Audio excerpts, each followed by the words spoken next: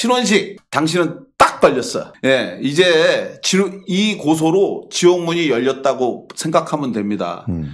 예, 검찰에만 캐비넷이 있는 게 아니에요. 저한테도 캐비넷이 있습니다. 레알? 어, 그러면요. 아니, 신원식 씨 지금까지 본인 얼마나 사람들 욕 많이 했어요. 그렇죠. 붕짜자, 붕짜. 안 안 내려오면 쳐들어간다. 쳐들어간다, 붕짜자, 붕짜. 네. 뭐? 아니, 광화문 모가지 광장, 딸 일만 남았습니다. 광화문 광장에서 어. 자, 나를 따라서 하자고 하면서 제가 그 영상 보면서 기가 막혔죠, 다들. 그런데 이런 사람이 국회의원도 되고 장관도 되는 시대, 이게 말이 돼요? 음. 제가 반드시 이거 가만두지 않을 겁니다. 음. 제가 지난 그 18일 날 처음 이 전화를 받아서 제가 고소됐다는 이야기를 들었어요. 용산경찰서에서. 18일 날. 예. 아유, 근데 고소하자마자 그냥 바로 들어오네. 야, 진짜 이렇게 빨라? 그래서 제가 들어보니까 10월 12일 날 저를 고소했다고 하더라고요. 그러니까 일주일이 되기도 전에 그냥 바로 전화부터 한 거 아니야, 경찰이. 예. 번개다, 번개, 이 정도는. 10월 12일 날 고소장이 접수됐다고 10월 18일 날 용산경찰서에서 전화가 저한테 왔더라고요. 그래서 제가 물어봤어요. 음. 진짜로 신원식 씨가 자- 직접 고소를 했냐니까 직접 고소했다고 하길래 아니 무슨 장관이 시민을 고소하냐고 음. 그랬더니 그 사람도 웃더라고요. 음. 그래가지고서는 저한테 얘기를 하는데 제가 정말로 기가 막힌 게 우리 PD님 우리 유스데스크 영상 한번 좀 캡처한 것 좀 한번 올려주세요. 자, 요거죠? 네. 네, 바로 이겁니다. 네. 사실은 이제 제가 이 신원식을 고 이게 고- 여러분들한테 고발하기 전에 세상에 처음 알려진 게 바로 이 뉴스예요. 이저 8월 28일 날 MBC 뉴스 데스크에서 음. 아주 놀라운 기, 뉴스가 세상에 알려졌어요. 군 사망 원인 조작 정황, 당시 중대장 신원식 의원. 이 한 3분 남짓 못 되는 이 뉴스를 통해서 MBC 뉴스데스크에서 기사가 나갔는데 네. 이 내용이 뭐냐면 바로 지금까지 지난번 방송에서도 제가 말씀드렸던 것처럼 바로 딱 오늘입니다. 네. 38년 전 바로 오늘 10월 24일 날 이등병이 당시에 불발탄을 맞고 사망한 걸로 알려졌지만 실제로는 박격포를 맞고 숨졌다. 음. 이것을 본 당시 전우들이 음. 이 내용을 저희 군사망사고 진상규명위원회에 제보를 했고 그 제보를 받고 저희가 3년 남짓 조사를 해보니 6명의 증언이 있어서 이게 사실이더라. 음. 그리고 이 내용에 대해서 확인을 했는데 정말 기가 막힌 건 뭐냐면요. 신원식 씨는 이게 다 조, 조작이다. 아니다. 그런 적이 없다. 그 박격포를 쏜 적이 없다. 박격포를 쏜 적이 없다. 근데 이걸 박격포를 명령을 받고 쐈다는 사람들이 맞다. 그러니까 1시 반경에 모든 훈련이 다 1시에. 1시에 종료됐기 때문에 3시 35분에는 박격포를 쏜 적이 없다 그랬는데 내가 쐈어. 중대- 내가 무전 받았어. 이런 사람들이 나타난 거 중대장. 신원식의 명령을 받고 네. 내가 박격포를 쏘고 그리고 10분 후에 음. 모든 상황이 종료되고 종료됐다. 훈련이 중지되고 사망자가 발생했다고 하는 이야기를 들었다. 그래서 내가 너무 괴로워 38년 동안 힘들었는데 이제라도 그 진실을 얘기한다. 그런데 중대장은 왜 인정하지 않느냐? 자기도 사과를 했으면 좋겠다라고 얘기를 하는 거고 이런 내용을 끝까지 부인하는 걸 보고 우리한테 얘기를 하지 않았던 당시 무전병도 예. 그 양반 TV를 보고 부인하는 걸 보니 앉아있네, 아주. 해도 너무 합디다. 응. 그래서 내가 얘기하는데 그러면서 PD 수첩에 나와 증언을 한 거 아니에요. 그렇죠. 어?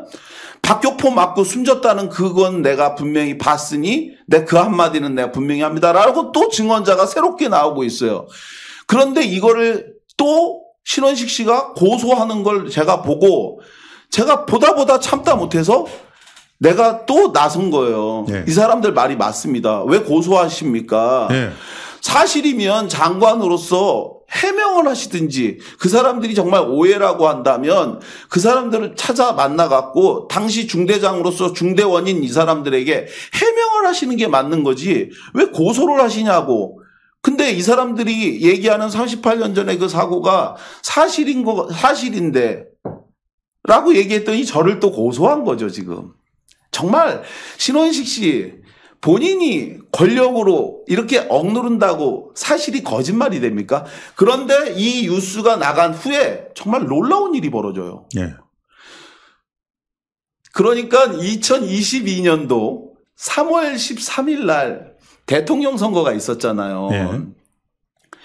그리고 5월 10, 11일 날인가요? 예. 취임식이 있었죠. 10일. 취임식이 있었죠. 5월 10일. 예. 네. 아, 그러니까 3월 11일 날 대통령 선거가 있었고 5월 11일 네. 날 대통령 취임을 하잖아요. 예. 윤석열이가. 예.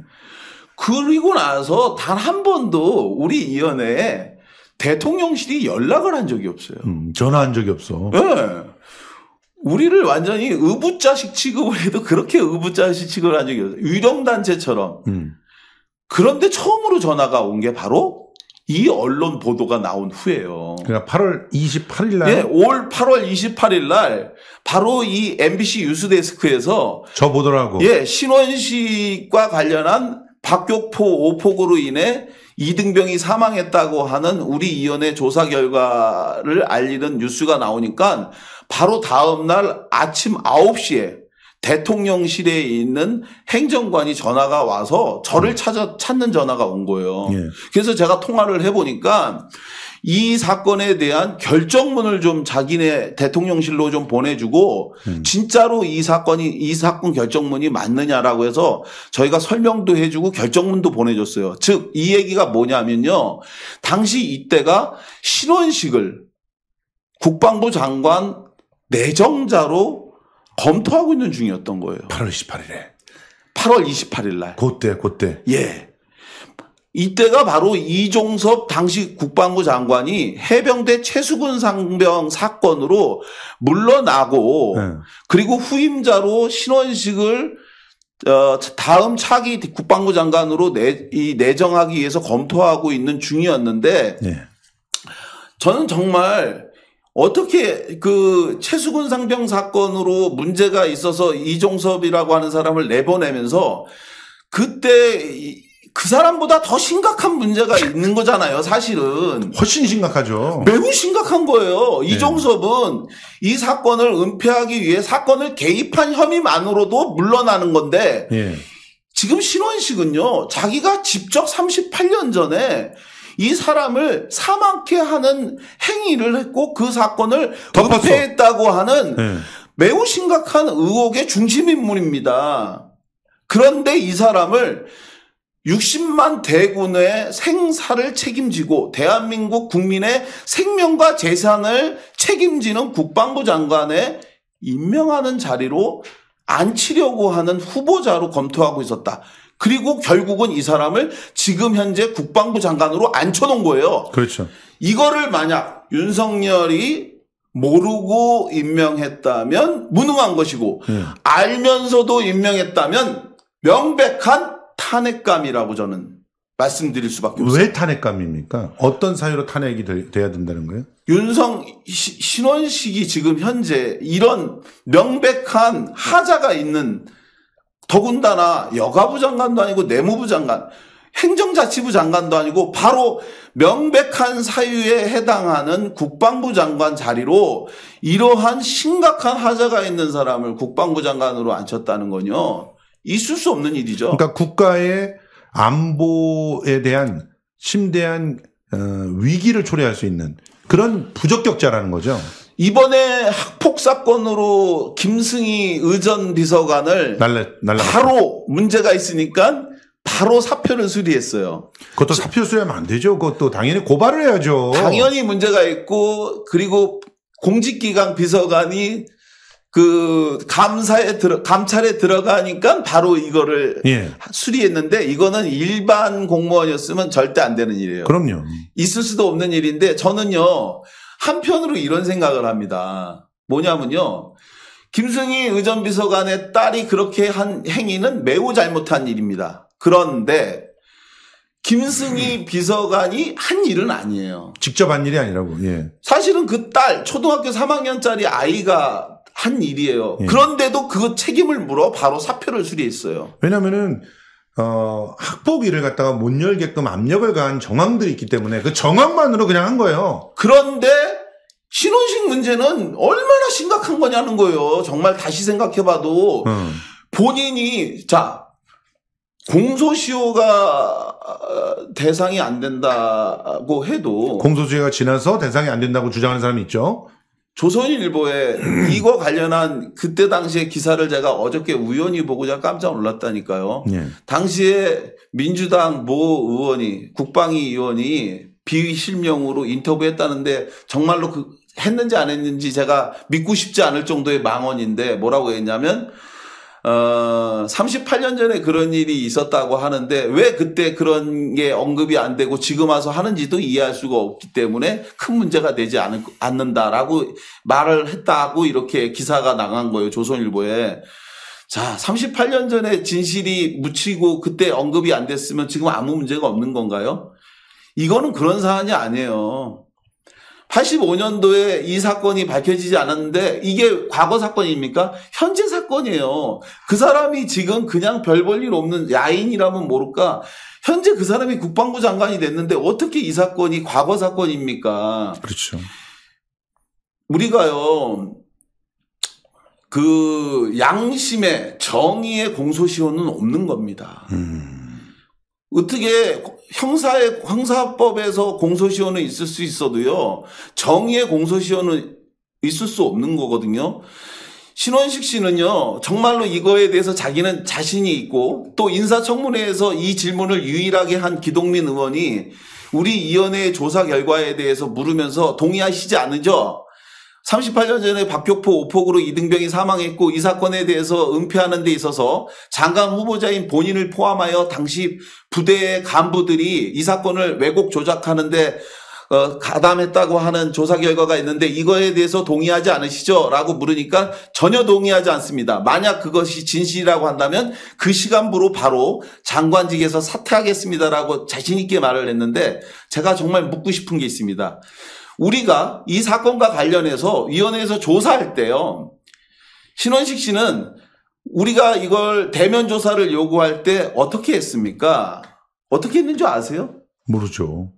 본인이 조사에 절대 응하지 않았습니다. 대신 당시 이 사건을 조사하던 여성 조사관에게 예. 자신이 자기 위원회 자기 의원실에 보사관 보좌관을 통해서요 예. 엄청나게 괴롭혔어요.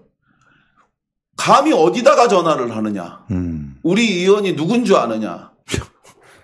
왜, 어? 우리 의원이 얼마나 바쁜 줄 아느냐 하면서 팀장 바꿔라, 과장 바꿔라 이러면서 갑질에 갑질을 했어요. 음. 이게 만약에 다른, 그래서 제가 그 조사관님 제가 굉장히 격려 응원을 했어요. 정말 고생 많이 하신다고. 만약에 다른 뭐 조사관이었으면 못 하셨을 때, 못 하셨을 텐데 그 조사관님이니까 이거 버텨냈고요. 두 번째, 이미 언론에 보도됐던 내용이기도 한데요. 우리 위원회에 이 사건 조사가 종료되니까요. 바로 의원의 또 갑질이에요. 우리 위원회에 조사했던 다른 사람들의 모든 진술을 포함해 갖고 모든 자료를 제출하라고. 음. 자기가 자기 자기 사건을 조사하는데 그 사건 조사 기록을 전부 다 갖다 우리 자기한테 내라고 하는 또 이런 갑질을 했어요. 정작 자기가 정말로 억울하고 사실이 아니라고 한다면 우리 위원회에 출석해서 우리 위원회에 본인 해명을 했으면 돼요. 예.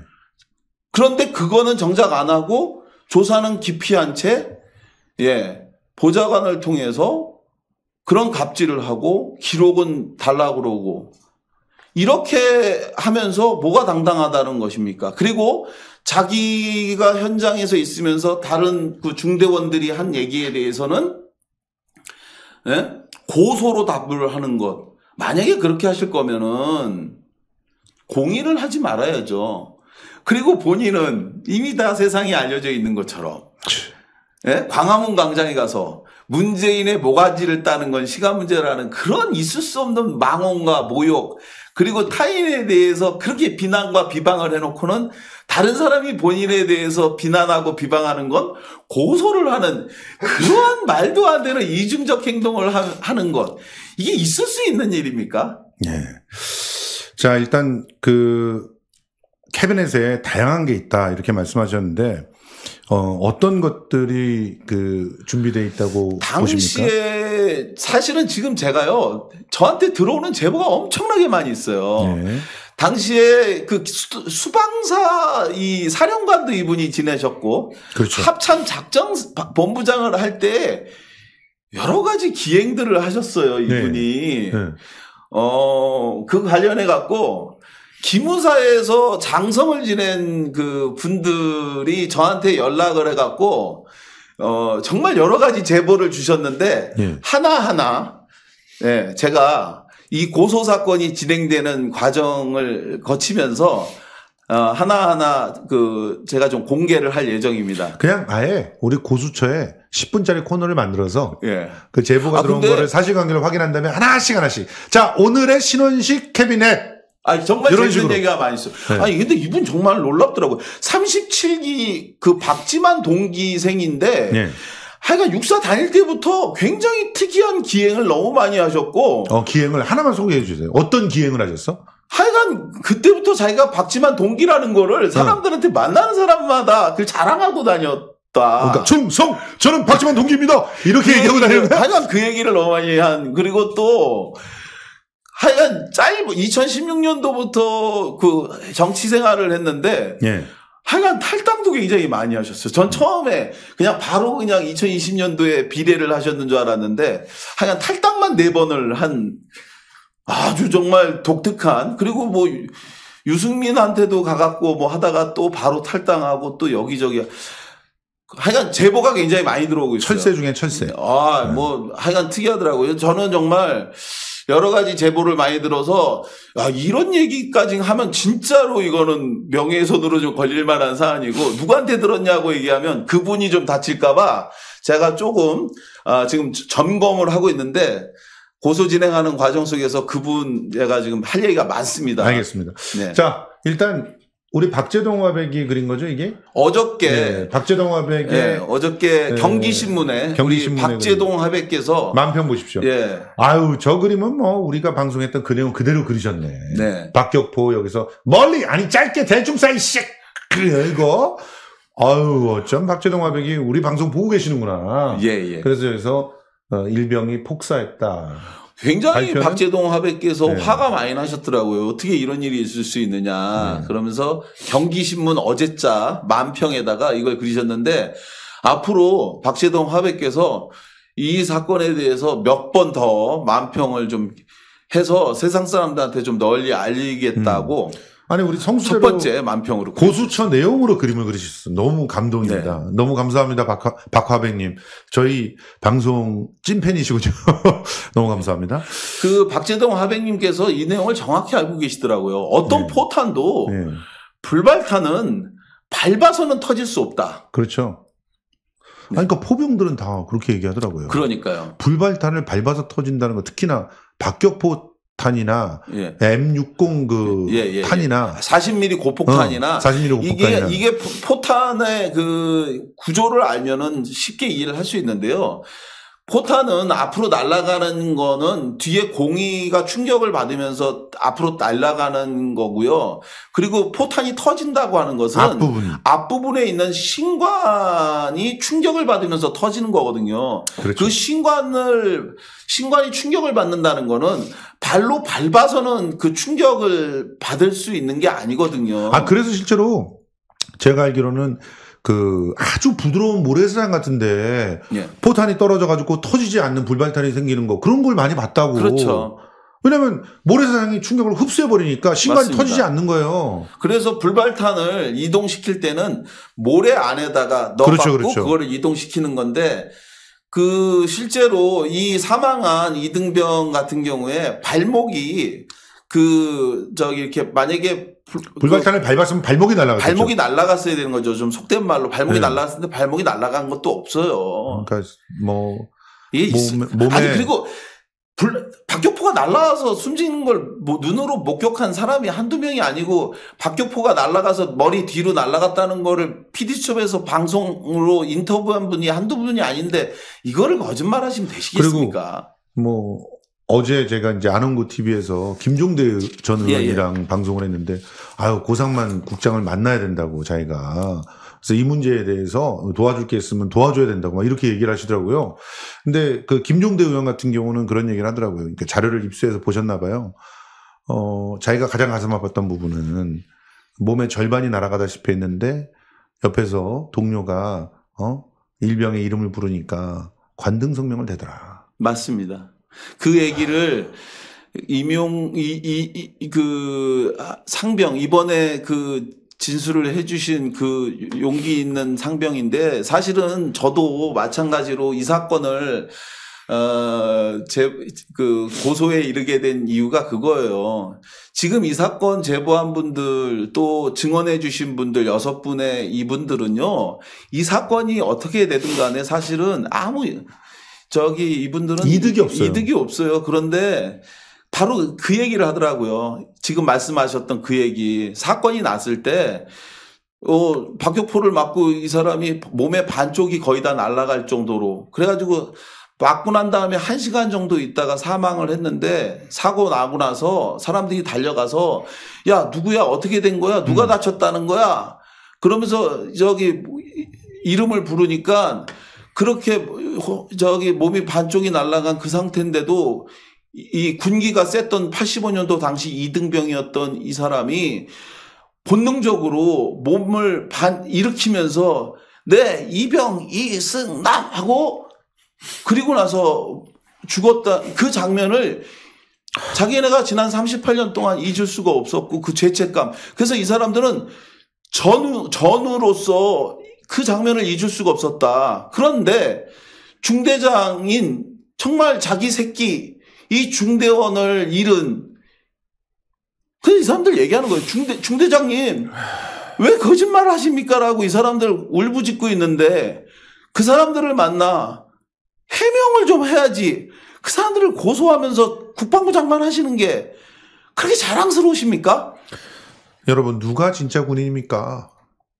죽어가면서도 관등 성명을 댄 이승남 일병이 군인입니까? 아니면 야 이 새끼야 짧게 쏴 길게 쏴 이지랄을 하면서 자기 부하를 쏘아 죽이고도 그것을 은폐하기 위해서 은폐하기 위해서 어, 조작질을 한 그래서 부대원들에게 위증까지 강요를 사실상 했던 그런 작자가 군인입니까? 그 정말. 저기 조평훈 씨 그 비서 그 묘비 간 그 사진 좀 한번 올려주실래요? 그 제보자인 조평훈 씨가 지난 금요일 10월 20일 날 마침내 그 국방부 중앙전공 사상 심의위원회를 갔습니다. 여기죠. 예. 어, 바로 이 조평은 씨가 이 사건 제보자예요. 당시 이 소대의 최고참 병장이었던 사람인데 이분이 어, 2020년 9월 달에 우연히 어, 술집에 들어가 술 한 잔을 먹다가 어, 텔레비전 식당에 켜져 있는 걸 봤는데 어, 어디서 낯익은 사람이 국회의원으로 나타, 나오는 걸 본, 본 거예요. 가만히 보니까 바로 38년 전 국- 자기 중대장이었던 신원식 씨가 국회의원이 됐다고 나온 걸 딱 본 거예요. 그러면서 바로 그때 사건이 났을 때 이등병 죽었던 그 기억이 나서 저한테 전화를 해서 바로 그 사건 제보하면서 오늘에 이르게 된 건데 이 사건 진정이 돼서 어 말씀드렸던 것처럼 국방부 중앙정공사상 심의위원회에서 바로 이, 이, 이 사람 그 순직 처리를 하는 데 있어서 사고로 불발탄을 밟아 죽은 게 아니라 박격포를 맞아 숨진 것에, 서- 것으로 결론을 내줬나요? 예, 진상을 다, 시 바꾸기 위한 회의를 지난 10월 20일 지난주 금요일 날 회의가 열렸대요. 아니 그런데 거기에 참석하기 위해 회의에 간 거예요. 예. 금요일 날. 근데 이거 결제를 국방부 장관이 하지 않습니까? 그래서 아마 요날 이제 회의를 하러 자기가 가서 본대로 진술을 하러 갔대요. 예. 이제 요 최종 결제는 바로 이 사건을 은폐, 아, 왜곡 조작하는데 가담한 바로 신원식 국방부 장관이 최종 결재권자입니다. 그래서 바로 이 조평훈 씨가 바로 이런 글을 쓰고 간 거예요. 떳떳하고 당당하게 그때 그날 박격포 오폭 당시 현장에서 직접 보고 들었던 진실만을 말하겠습니다. 이렇게 쓰고 이제 갔는데 그날 어땠냐고 제가 들었어요. 전화 통화를 해서 얘기를 들어보니까 참 가관이었답니다. 어떻게요? 자기가 얘기를 하니까 예. 아무도 말을 안 하더래요.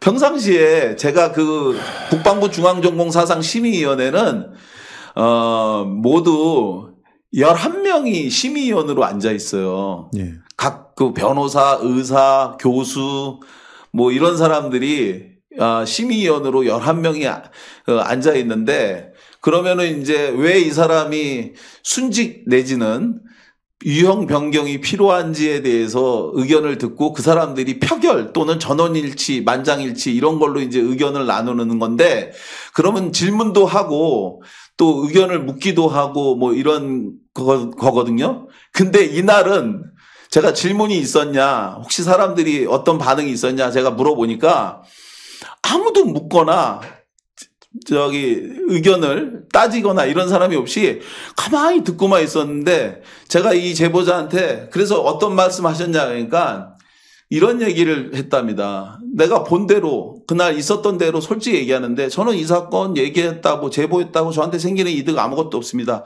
다만 미안해서 제가 그랬습니다. 제가 고참인데 그날 이등병이었던 제 새끼 중대 소대원이었던 얘한테 그때 진실을 말하지 못하고 지켜주지 못한 게 너무 미안해서 그래서 있는 대로 얘기했습니다. 저도 아들이 있습니다. 제가 지금 환갑인데 제 아들 군대 갈 때 몸성이 잘 갔다 오라고 했는데 내 새끼만 걱정하고 그 이등병도 부모가 있는데 그 부모 심정은 어떻겠습니까? 그런데 자기 새끼 어떻게 잃었는지도 모르고 세상 떠날 그 아버지한테 그 진실이라도 알려주고 싶어서 제가 얘기했습니다. 그런데 저 그것 때문에 고소당했습니다. 어, 진실을 얘기한 죄로 고소, 고소당했습니다라고 얘기했대요. 그런데도 아무도 질문도 안 하고 얘기도 안 했대요. 제가 그래서 그분들 편들다가 저도 고소당했는데 대한민국의 정의가 요 정도 수준인 겁니다. 사실은 우리 김성수 TV 덕분에 저도 이 이야기 하는 거지 아무도 이 이야기를 다루지 않고 있어요. 민주 진보 진영의 유튜버들은 좀 다루십니까? 아무도 얘기를 안 해요. 그러니까 30 이게 전 정말 이해가 안 가요. 아니 해병대 최수근 상병 사건 가지고 오늘도 국감에서 얘기하는데 도대체 그 사건 해병대 최수근 상병 사건 죽음과 이 똑같은 무게의 이 이등병 죽음은 어떻게 다른 건가요? 정말 묻고 싶어요. 뭐가 다르기 때문에 그 사건은 정말 이야기하고 물론 그 사건 매우 중요하죠. 저도 관심 있게 보고 있고 박정훈 대령이 직위 해제에 대한 논란 반드시 해명하고 도와줘야 될 일입니다. 근데 이것도 좀 반드시 좀 규명해야 되는 거 아닌가요? 그런데 왜 이 용기를 낸 여섯 명의 제보자들, 이 제, 진짜 여러분하고 똑같은 제보자예요. 저는 저를 도와달라는 얘기가 아니에요. 이 평범한 제보자 여섯 명이요. 이 PD수첩에 나와서 용기 있게 증언한 그걸로 가정에서 지금 싸움이 났다는 거예요. 부인이 그렇잖아요. 왜 당신이 나서 갖고 고소당하고 왜 이러냐고 하는데 저는 국가가 대통령 소속 진상규명위원회 만들어서 제보해 주세요라고 했고 그래서 그 덕, 그분들 덕분에 이 진상을 밝혔는데 기간이 도가됐다고 위원회가 문을 닫았어요. 그리고 이분들만 지금 홀로 야, 들판에 나, 나왔는데 이분들의 그 고통을 9월 13일 날 보고 제가 나온 다음에 마음이 편하지가 않은 거예요. 그래서 저분들 말이 맞습니다라고 얘기했더니 제가 고소당한 세 가지 사유가 하나는 명예훼손이고 하나는 모욕인데 또 하나가 뭔지 아세요? 뭔가요? 진상규명 특별법 위반이래요. 그 위반이 뭐냐면 비밀을 준수해야 될 의무를 위반했대요. 제가 업무 중 업무 중 지득한 비밀을 폭로했다는 거요. 이 지금 신원식에 이 비밀을 폭로한 것으로 2년 이하의 징역에 처하는 규정이 있더라고요. 이게 비밀입니까? 신원식이 했더는 이거를 제가 폭로했다는 걸로 또 고소를 했더라고요. 여러분 야, 뭐 하나는 걸리라 이거네. 어? 이게 허위 사실이든 사실 적시든 뭐 하나는 걸릴 수 있네 지금. 저는 셋 중에 하나가. 예 진짜로 이건 아닙니다. 제가 장준하 선생 사건도 사실은 똑같이 폭로했었거든요. 예. 정말 이거는 아닙니다, 여러분. 예. 김성수 TV는 어, 진실과 함께하겠습니다. 구독, 좋아요는 반드시 해주셔야 되고요. 예. 이런 얘기를 하지만 우리 또 오늘 성수마트 광고는 해야죠. 예. 예, 저 광고 잠시 듣고 그리고 계속 진행해 나가도록 하겠습니다. 일단 뮤지컬 우리 동네 펀딩 좀 말씀드리겠습니다. 어우, 저 지금 그 카카오톡으로 카카오뱅크로 어 지금 민주 시민님 그리고 김 김옥자님인가요? 어, 김송자님 그리고 또 삐유님 이렇게 아, 빠유님이군요. 빠유님 이렇게 후원해 주셨습니다. 어, 자발적 시청료 너무 감사합니다. 어, 뮤지컬 우리 동네 얘기부터 좀 해보도록 하겠습니다. 뮤지컬 우리 동네 어, 지금 김성수 TV의 문화 컨텐츠 되살리기 프로젝트로 지금 진행을 하고 있습니다. 어, 그, 어, 12년 만에 귀환 어, 크라우드 펀딩을 시작했고요. 11월 24일까지 펀딩이 진행이 됩니다. 12월 8일서부터 10일까지 그 정규 공연은 4번, 그리고 12월 7일 목요일 날 어, VIP 그 티켓 그러니까 어 이따가 보면은 우리 가족 티켓이라고 하는 것을 사신 분들을 위한 특별한 공연이 7일 날 진행이 됩니다. 어 일상의 위대함을 다시 느끼게 해주는 작품이고요. 어, 우리가 정말 사랑한 건 일상 아닙니까? 우리 네. 국민들은 평범한 일상. 재밌을 것 같아요. 네, 아침에 일어나서 우리 아이들 학교 보내고 또 어, 남편은 열심히 직장에 나가서 일하고 아, 그럼요. 예, 또 아내도 열심히 자기 일하고 그게 행복이죠. 예, 그리고 돌아와서 맛있는 저녁을 나누고 그 평범한 행복. 예, 이 평범한 일상을 누가 지금 어, 위협을 하고 있습니까? 그게 무너져 봐야 정말 그게 얼마나 행복한지를 아는 게 우리 또 인생이기도 하고. 맞습니다. 그래서 그 일상의 위대함을 깨닫게 해주는 그런 작품이 지금 우리에게 너무 필요하고 그것 자체가 우리 모두에게 위로와 치유가 되지 않을까 생각을 해서 이 작품 여러분들께 보내드립니다. 17곡의 정말 서정적인 뮤지컬 넘버들이 에, 우리들의 일상을 얼마나 아름다운지 입증해 주고 있고요. 그리고 이렇게 작품을 준비하는 사람들이 있습니다. 제가 직접 개작하고 작사하고 연출했고요. 또 강규영 작곡 음악 감독 그리고 임슬기 재즈 밴드의 임슬기 리더가 직접 편곡을 해서 라이브 밴드로 하는 거. 라이브 밴드로 해야 뮤지컬은 제대로 즐길 수가 있어서 사실 그 비용만큼 또 OST 만드는 비용만큼만 펀딩을 합니다. 자, 이런 많은 리뷰들이 쏟아졌고요. 이제 펀딩은 우리 가족 티켓서부터 이웃사촌 티켓, 일가친척 티켓 이렇게 준비가 돼 있고요. 어, 강서 구민이면은 요거보다 싸게 보실 수가 있는데 이제 네. 강서 구민이 아닌 분들께 이제 권해드리는 겁니다. 요즘 강서구가 뜨고 있군요. 네, 저- 저희가 일부러 이 강서구를 선택을 해서 아이고. 네, 승리의 네. 기운을 얻어갖고 오자. 그래서 강서에서 보자. 완전 1번지가 됐습니다, 예, 요즘. 그렇습니다. 그러니까 우리 가족 티켓 10만 원은 시사회 특별 초대를 두 분을 하고 네. 그리고 리셉션 제공하고 OST 앨범 드리고 기념 티나 기념 에코백을 드립니다. 그리고 이웃사촌 티켓은 2인 티켓에다가 OST 앨범과 기념품을 드리고요. 또 일가친척 티켓은 이, 저, 2인 티켓에 기념품을 전달해 드립니다. 이렇게 펀딩으로 미리 예매를 하시면 되는 겁니다.